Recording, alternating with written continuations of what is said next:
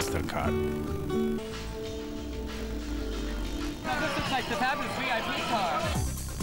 En un mundo sin reglas, un juego de niños puede ir muy lejos.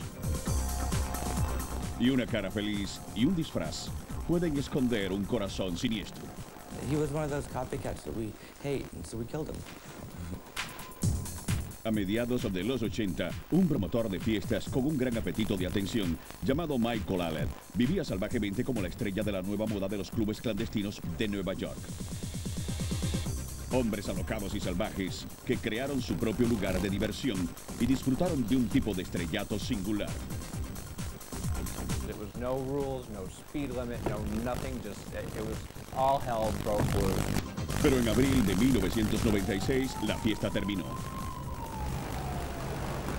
En una playa desierta de Staten Island Beach, la policía halló el cuerpo descuartizado de Ángel Meléndez, de 25 años, en una caja de cartón. A person was murdered, brutally, viciously murdered and cut up. La grotesca pista mortal llegó hasta Manhattan, justo a la puerta de Michael Allen. He kept on telling the people he was involved with, I'm going to be famous someday. He achieved it. En la próxima hora, iremos detrás de las paredes de la prisión y hablaremos con Michael Allen para saber en sí qué le pasó a Ángel Meléndez y por qué. Esta es una historia sobre la fama malograda. We are on a treadmill, and whoever is on at the end wins. Wins or dies. Death by Disco y True Hollywood Story.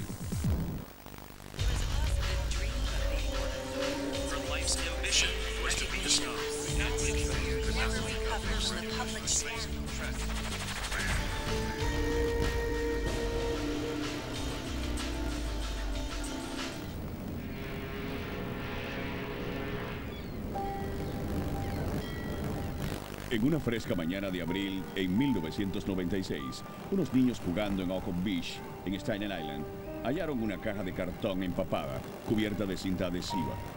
Los niños miraron adentro. Lo que encontraron era espantoso.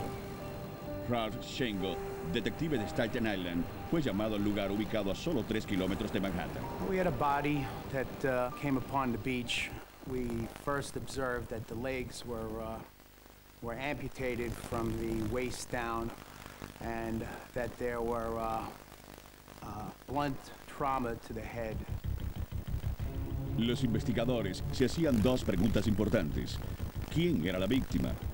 ¿Y quién había cometido tan espantoso asesinato? Frank Owen, reportero del Village Voice, siguió la historia desde el principio. Un retorcido cuento que lo llevó a los rincones de la cultura de moda de los clubes clandestinos en Nueva York.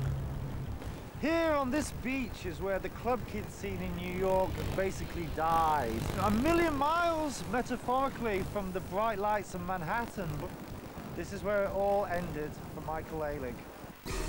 Michael Alec, como millones de jóvenes ambiciosos antes que él, vino a Nueva York en busca de fama. El atractivo de la ciudad más grande de América era un sueño hecho realidad para el muchacho que creció en Indiana.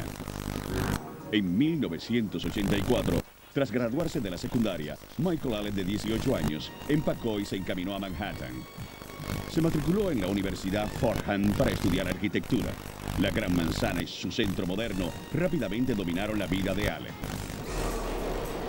En poco tiempo, el chico universitario estaba faltando a clases y rondando los centros nocturnos de moda en Nueva York. Alec, ahora prisionero, habla de su enamoramiento con la vida nocturna neoyorquina.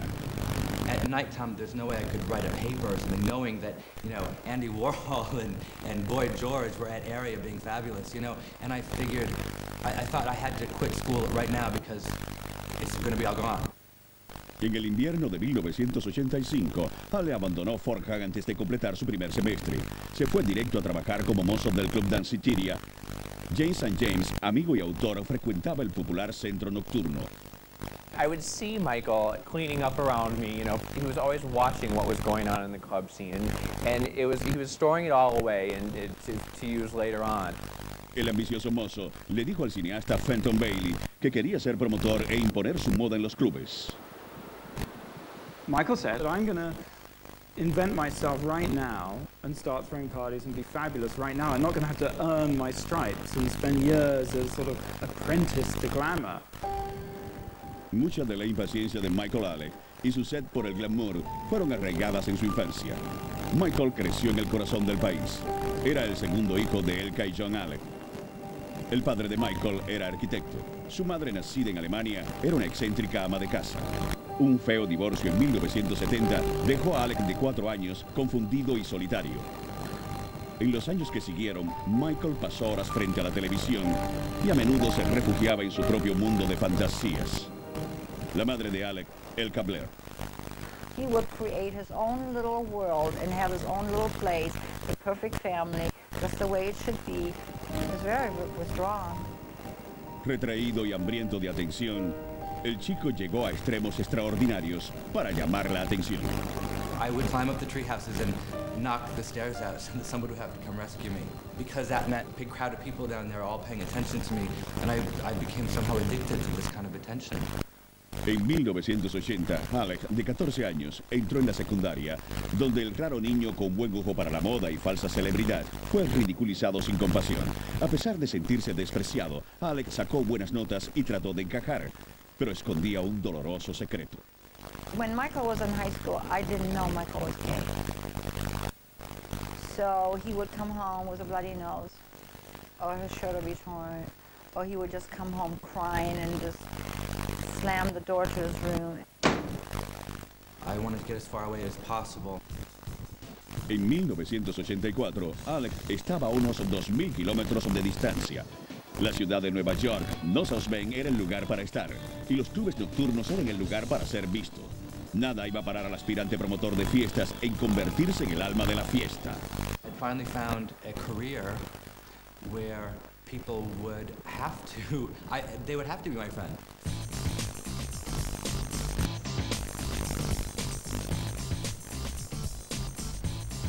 A continuación, Michael Alec rompe las reglas antes de que el juego empiece. They were like refugees from some demented Mother Goose book on, on acid or on whatever.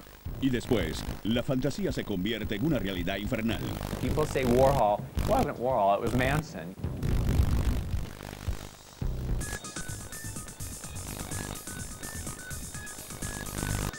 Los clubes de Nueva York en los años 80 fascinó al promotor de fiestas Michael Alec, quien estaba determinado a convertirse en un jugador estelar en un extraño escenario. It was a runaway train with a conductor on drugs that didn't know where to stop.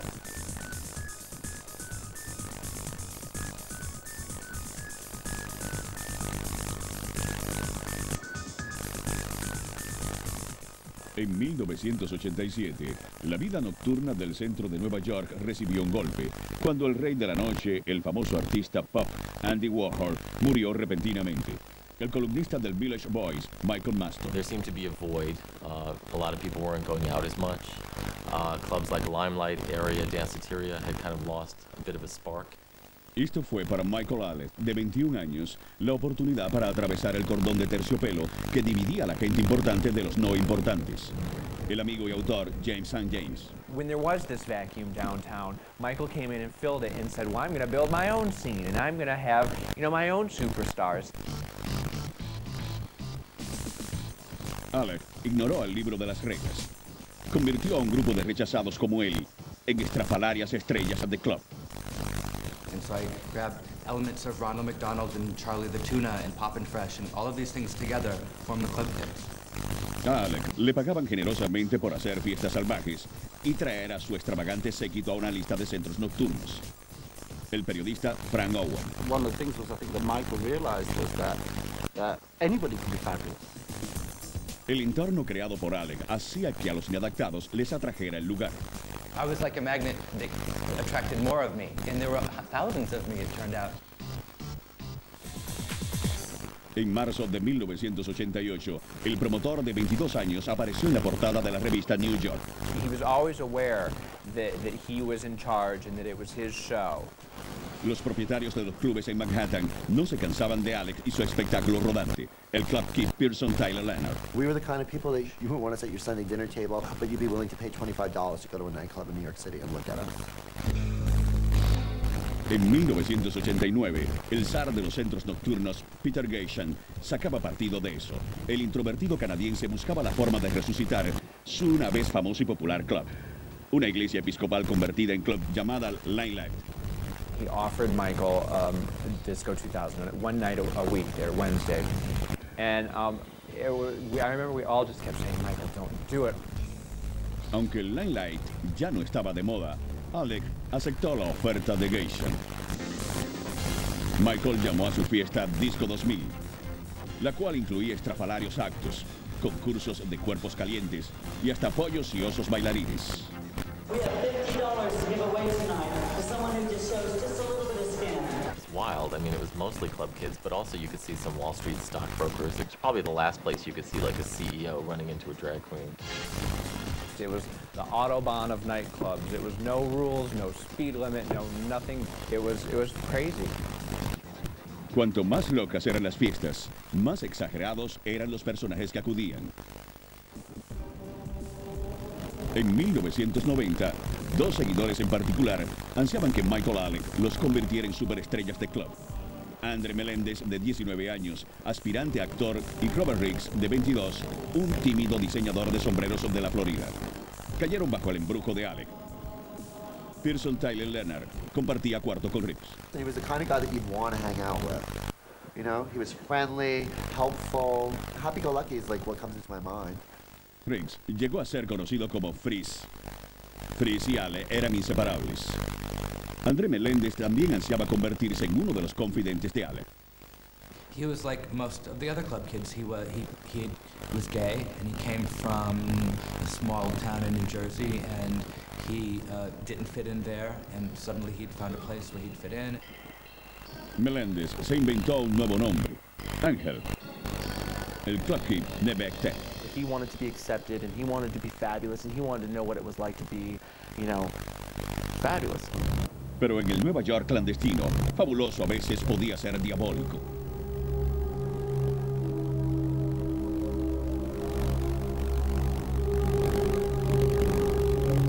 A continuación, I went to a K-hole where you are so high that you can hear people talk, but you can't move.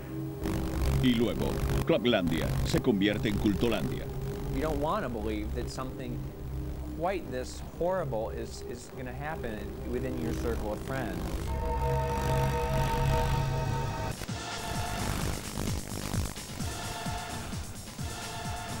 Michael Alec estaba determinado a reemplazar al fallecido Andy Warhol como el rey de la vida nocturna clandestina de Manhattan.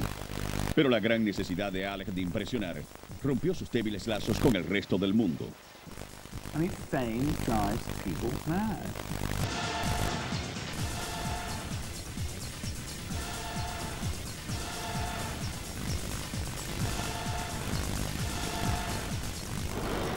Con la llegada de los 90, el centro de Nueva York se convirtió en Club Kid incorporado y Michael Alec era el presidente. Revistas, postales y comerciales eran todo parte del plan de Alec para promover su acto. El Club King, Pearson Tyler Leonard. People what Michael was doing. They wanted to be like Michael. You know, he would get fan mail. It was there was really no real separation in his mind from his celebrity status and a major celebrity. Alec vivía el papel. Peter Geishan, su jefe en Limelight, proveyó a Michael con un lujoso apartamento y un amplio presupuesto. Con más dinero a la vista, Alec pagaba a sus amigos Club Kid para que trajeran invitados a sus fiestas. El promotor estaba obsesionado por mejorarse a sí mismo.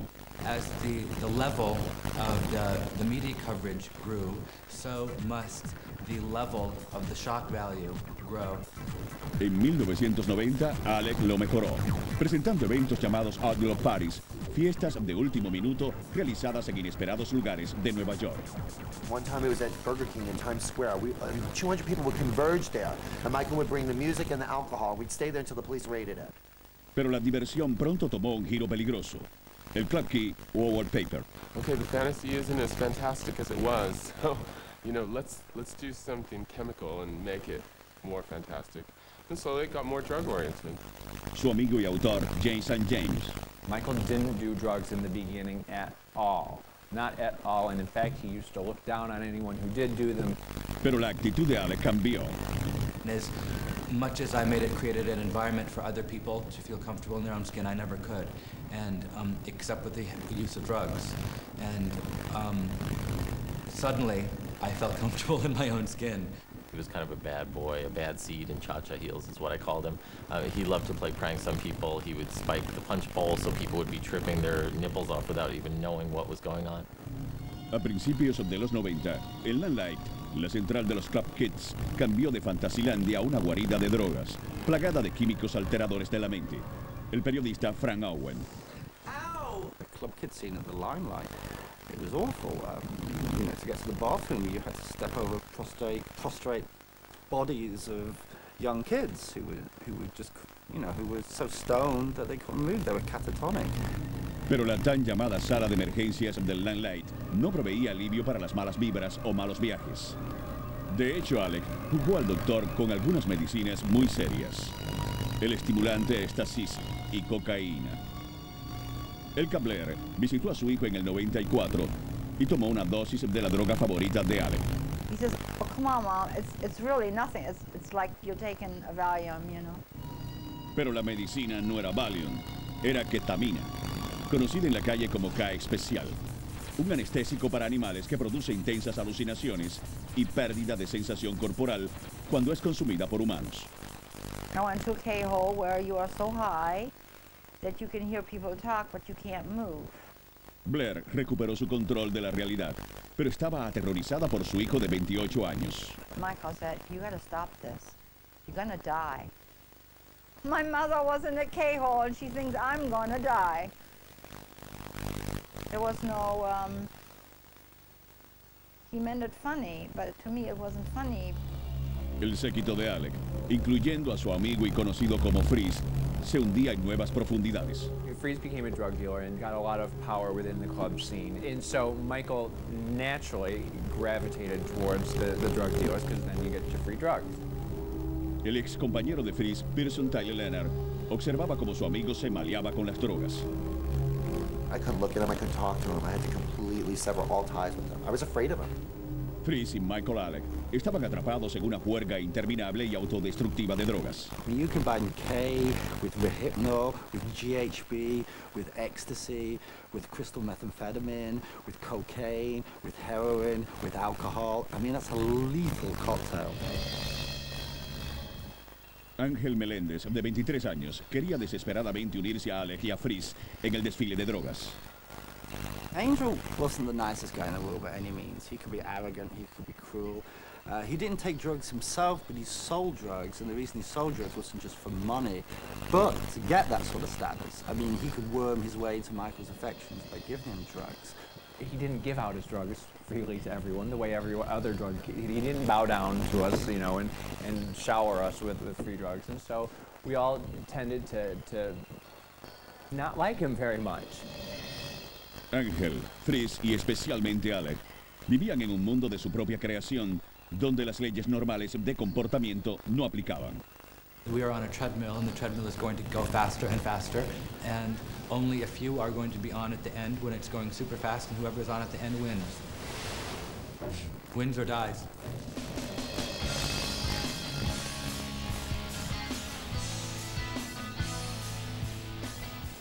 A continuación, locura, confusión y asesinato.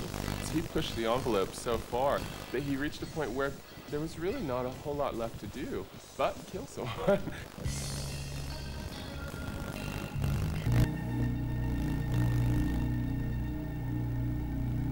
A mediados de los 90, una extraña mezcla de drogas y fiestas salvajes arrastraron al Club King Michael Alec y a sus amigos traficantes, Freeze y Ángel, a una violenta corriente de la cual no había escape.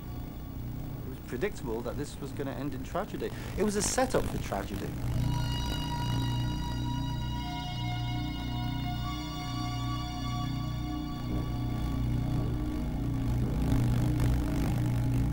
En 1995, Michael Alec, de 29 años, estaba fuera de control y adicto a las drogas. Y nadie podía hacer nada. He was a complete junky mess. He would go around wrapped in a blanket and not wearing anything underneath it and stinking and defecating. I mean, he was just yuck.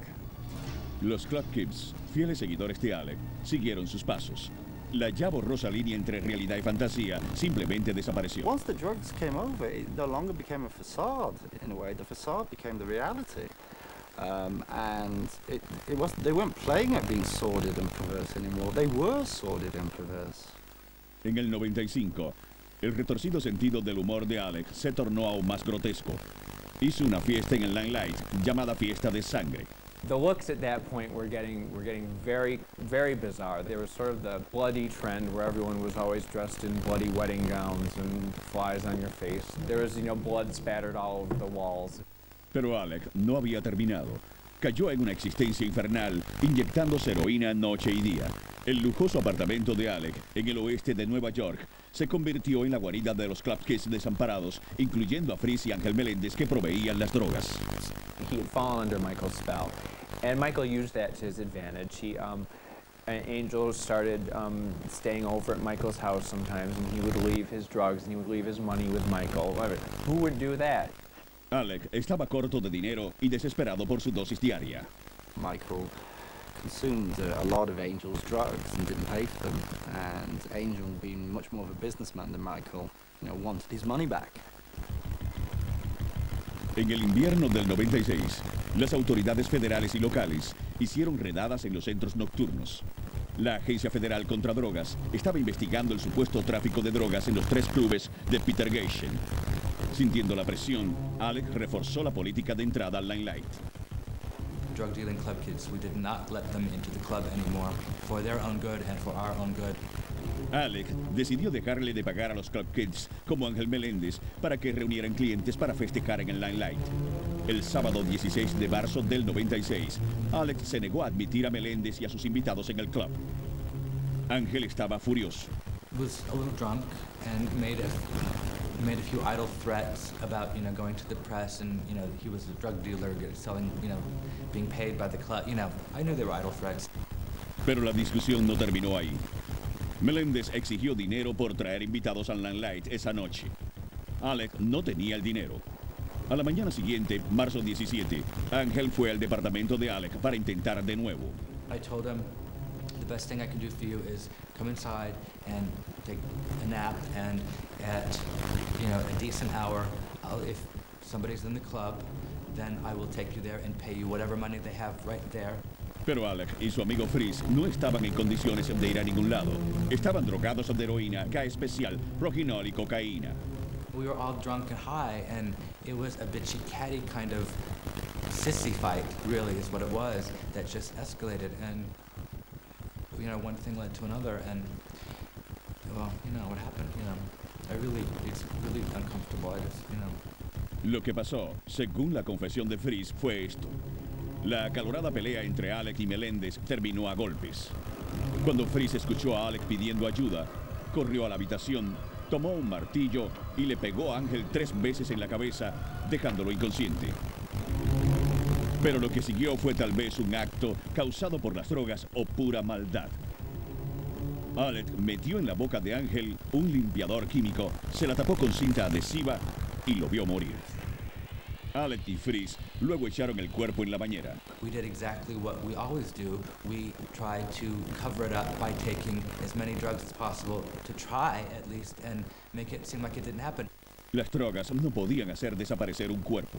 First of all, we didn't want to know about it, so we left it. We, we just put it on ice and just left it, you know, because we did we thought, you know, something that isn't in, in our immediate surroundings, it's not really happening. Pasaron varios días. El mal olor de la carne descompuesta se hizo It insoportable. was like a scene from a Hitchcock film, basically. I mean, the body had been in, um, decomposing in the apartment for about a week. It was just getting too much, so they had to get rid of the body. Al igual que el resto del espantoso crimen, deshacerse de la víctima se convirtió en ejercicio macabro. I mean, they dismembered the body in the bathroom, and then they put the torso in a cardboard box and the limbs in a plastic bag. Los asesinos tiraron las bolsas en el East River. Los miembros se hundieron de inmediato. La siguiente noche, Alec y Frizz se deshicieron del torso de Ángel. From to, to my sources, at least, um, the doorman actually helped them get the box into the taxi outside the um, outside the building here. The taxi drove them down to uh, the Chelsea Piers, uh, down near the Tunnel nightclub. They dumped the box into the uh, into the Hudson River.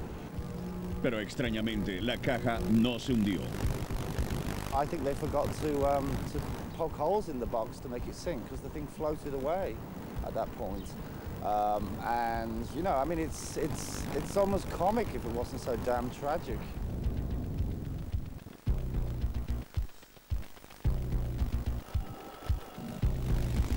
A continuación, el ego de Michael Alec lo delata. People were like, well, you know, did he do it? Didn't he do it? And he started feeding that frenzy. He was wearing Angel's boots.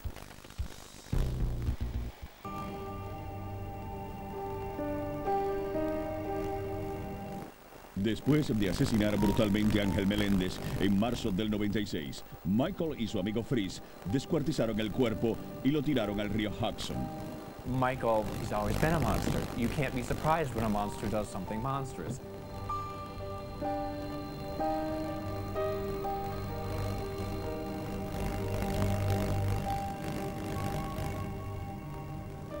La desaparición de Ángel Meléndez no salió en las noticias, pero los Club Kids notaron la ausencia del traficante de drogas personal de Alec, y los rumores volaban. Alec, de 29 años, y su cómplice Freeze trataron de calmar el arboroto con psicología inversa. We conspired together, the two of us, to tell them the truth, but tell them in such a way that they will not believe us. I killed Angel, and that's the kind of thing that gets me in trouble. Alec también le dijo a los amigos que él y Freeze tomaron el dinero de Ángel después de matarlo y se fueron de compras. that moment, I, I knew that it was true. I didn't rise to the occasion. I didn't, you know, there was no grace under pressure. I got high, and I just laughed. El promotor fue visto por la ciudad llevando las características botas de Ángel. Michael Alick has a, a long history of um, of um, staging pranks, and the club kids try to say this was his ultimate prank. That six months later, Angel would magically reappear, and they would throw a welcome back Angel party. El 12 de abril de 1996, casi un mes después del sádico asesinato, una caja de cartón apareció en la costa de una playa de Staten Island. Dentro, la policía halló un cuerpo mutilado. El detective de homicidios, Ralph Chengo, buscó respuestas, pero encontró pocas pistas. We scanned the local papers daily for any mutilations, possibly a serial killer. We notified the federal authorities. We just had no luck as far as determining identity of the individual at this time. Entre tanto, en Nueva York, Johnny Meléndez empezó a buscar a su hermano menor, Ángel. Meléndez fue a la policía por ayuda, pero le dijeron que llenar un reporte para una persona perdida era inútil, porque Ángel no tenía una dirección permanente. Frustrado, Meléndez acudió a los Club Kids por respuestas. You know, they told me, oh yeah, I know him. Do you know where he is? No, don't know. Nobody wanted to say anything. En la primavera del 96, el mundo de Alec se derrumbó. El uso de drogas y sus lazos con traficantes eran un problema para el jefe de Alec, el zar de clubes, Peter Geishen, cuyos operativos estaban bajo investigación. En abril del 96, Geishen despidió a Alec y canceló el alquiler de su departamento. Este rompimiento alimentó aún más los rumores. El 30 de abril del 96, los detalles de un crimen espantoso salieron en la prensa. En el Village Boys, Michael Masto escribió una versión del crimen basada en una fuente anónima. I ran the blind item, which told exactly, uh, in detail, how the murder supposedly happened. Um, I didn't use names, but everybody knew who I was talking about. Los Club Kids, que sabían o sospechaban que Ale había asesinado a Ángel, cayeron en la red. Do you turn in your best friend? Do you, do you, do you protect your worst enemy? You know, wh- what is it that you do in a situation like this? A pesar de la prensa y los rumores, nadie sospechaba que los restos no identificados hallados en Staten Island fueran los de Ángel. En mayo del 96, la oficina del fiscal general acusó a Peter Geishen por cargo de drogas. La atención de la prensa alrededor de Geishen y sus clubes puso a Michael Alec muy nervioso. El una vez fiestero que anhelaba atención, ahora quería permanecer fuera de foco. Temiendo ser señalado por la muerte de Ángel, Alec huyó de Nueva York. We knew the end had come. It wasn't coming, it had come. And we, at that point, we didn't care anymore whether we lived or died. Con un amigo, Michael se fue hacia el oeste, a Denver, donde planeaba ingresar a un centro de rehabilitación. En el camino hicieron una parada de emergencia en la ciudad natal de Alec, South Bend, Indiana. La madre de Michael no lo podía creer. I hadn't seen Michael like in two and a half or three years. Oh God, I walked in and I see a white male, thin, like so thin, poorly groomed, hair hadn't been washed in weeks. And I said, well, how can I help you? He says, you gotta get me heroin. I said, Michael, I can't do that. I have no idea how to do that. And if I could, I wouldn't. You need hospital help. You don't need any more drugs. Blair llevó a su hijo a un hospital cercano, donde recibió metadona para su adicción. Tras una semana de tratamiento, Alex se fue. De vuelta en Nueva York, la desaparición de Ángel Meléndez permanecía sin ser resuelta durante el caluroso verano del 96. Whatever happened to him wasn't the top of anyone's list. Wasn't the top of the list within the club kids, which is sad, nor within the forces of law and order in society, which is perhaps even sadder.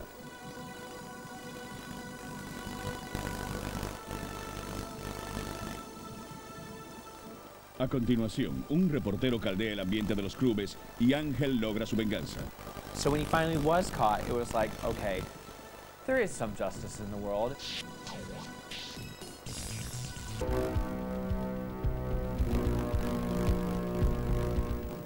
A finales de la primavera del 96, el promotor de fiestas, Michael Alec, era un drogadicto destrozado con un espantoso secreto. Alec trataba de mantenerse un paso delante de la ley, pero la policía estaba acercándose al asesino. Michael at this time gave us every indication that he was over the moon.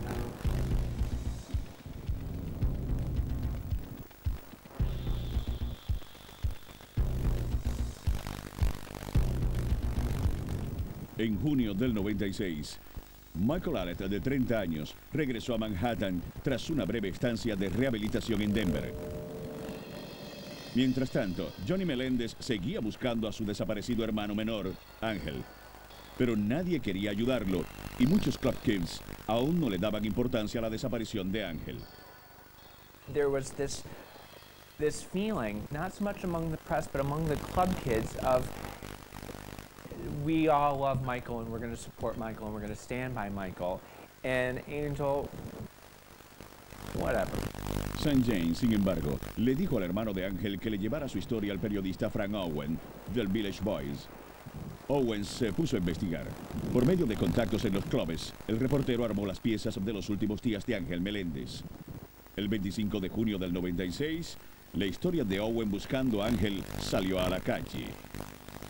When my cover story came out, it kind of transformed it, you know, it took it out of the realm of gossip and ma- made. Owen dio nombres.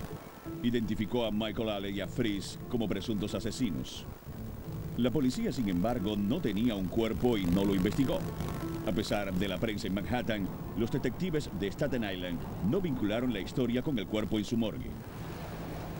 Pero en agosto del 96, Johnny Meléndez convenció a la oficina del fiscal de Manhattan que investigaran la desaparición de su hermano. Michael Alec de inmediato se convirtió en su primer sospechoso. En septiembre del 96, el caso tomó otro extraño giro. Una mujer desamparada que pescaba en un muelle sacó un cuerpo mutilado del río Harlem. Los informes de la prensa especulaban que el cuerpo era de Ángel Meléndez. No lo era. Mientras tanto, Alex se convirtió en el blanco de los investigadores federales, quienes lo arrestaron por distribuir drogas y le ofrecieron un trato. The DEA agents wanted to use Michael as the chief witness against Gation, because if anybody knew what was going on at the limelight in terms of Peter Gation, it was Michael. Alex se declaró culpable y aceptó proveer información contra Peter Gation a cambio de una sentencia más ligera. Alex salió bajo fianza. I was on the fence. I didn't know what I was going to do, honestly. And what I was doing is I was buying time because I just didn't know what else to do. So I would give them bits and pieces, just whet their appetite. Not enough to get Peter into any trouble.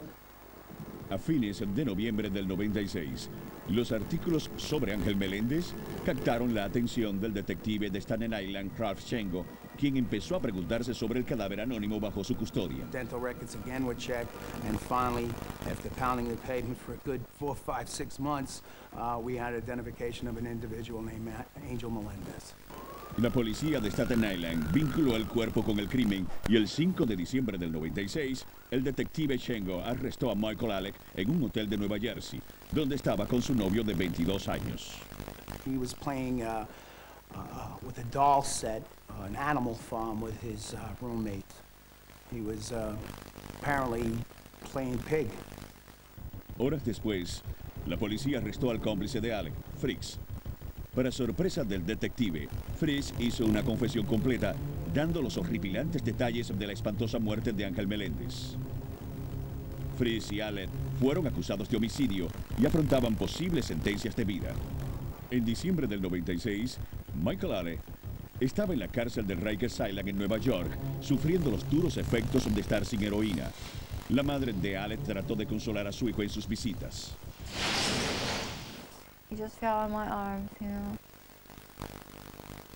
And he lingered there for a long, long time until a guard said it's enough touching. And I wanted to scream at him, how dare you tell me what is enough time to hold my child, my own flesh and blood? How dare you? Michael Alec, quien hizo carrera rompiendo las reglas, no pudo escapar del sistema judicial. Su abogado defensor, Gerald Mackman, vio que su cliente estaba en problemas serios. The federal prosecutors were trying to decide what, you know, what are they going to do with him? What are they going to do with the cooperation agreement?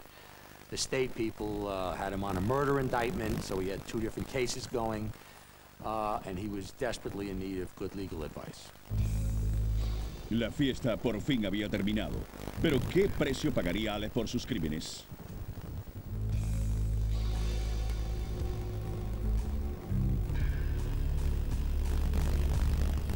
A continuación, nueva información pone a Michael Alec en la silla caliente. The prosecutor was threatening to indict him on a death penalty charge.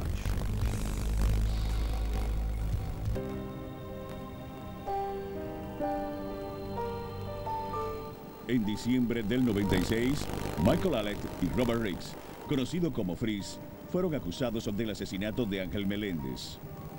Los detectives que investigaron el brutal crimen esperaban que el juez aplicara el rigor de la ley sobre los dos asesinos. I'd still see Angel on the autopsy table saying, revenge.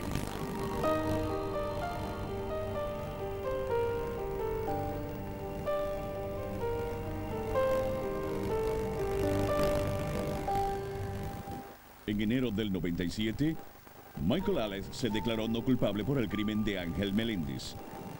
Pero la historia de Alec de haber matado a Meléndez en defensa propia pronto perdió credibilidad.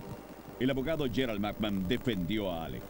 The prosecution came to me and said that they had developed information from a witness. This was a murder during the commission of a robbery, not a struggle unrelated to anything other than a struggle over uh, something that had gone on in the apartment. De repente aumentaron los riesgos. There was a new statute which uh, allowed a death penalty charge for the commission of murder during certain specified felonies, one of them being robbery. A pesar de la nueva evidencia, Alex sostuvo que fue un acto de defensa propia.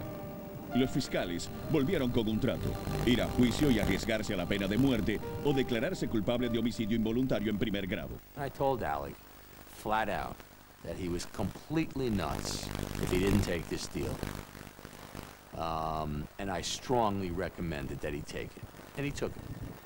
El 10 de septiembre del 97, Alec y Riggs se declararon culpables de haber matado a Ángel Meléndez. Fueron sentenciados a servir de 10 a 20 años en prisión estatal.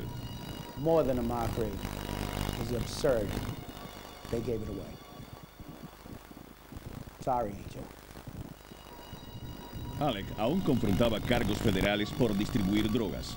La condena por asesinato de Alec eliminó la oferta de la DEA de una sentencia reducida. En agosto del 98, el Un Día Chico Alegre recibió otros 10 a 20 años detrás de las rejas. El juez dictaminó que ambas sentencias podían correr concurrentemente. 10 years for a homicide. That's beating the system. Mientras, meses después, Peter Geishen fue absuelto de todos los cargos por droga. Michael Alec nunca fue llamado a testificar y Geishen continúa con sus centros nocturnos. La espeluznante historia de Michael Alec dejó a los más fuertes detectives fríos. ¿Qué fue lo que llevó a Michael Alec a cometer un crimen tan atroz? Well, if we can learn anything, it's that, you know, just nightlife without any boundaries is not really the ideal. If you ignore reality, reality is going to hit you on the head. And I think that's what happened. And it's just a terrible shame that someone had to pay the price of that with their life. What do you tell another mother that has lost her son because of your son? It's just, uh, it's more than painful. I, I can't, I can't even imagine. But then again, her, her journey is done, okay? Mine is still going on. Hoy, la prisión Clinton de máxima seguridad al norte de Nueva York es la casa de Michael Alec y Robert Riggs. La lúgubre prisión está lejos de parecerse a los coloridos clubes de Manhattan. Alec tiene suficiente tiempo para reflexionar sobre su crimen y su víctima, Ángel Meléndez. I think about him every single day. Every single day I think about him. I sit in my cell and I think about, you know, I think about the, you know, making outfits together and, you know, I think about, I, th I think about every, I think about him every day.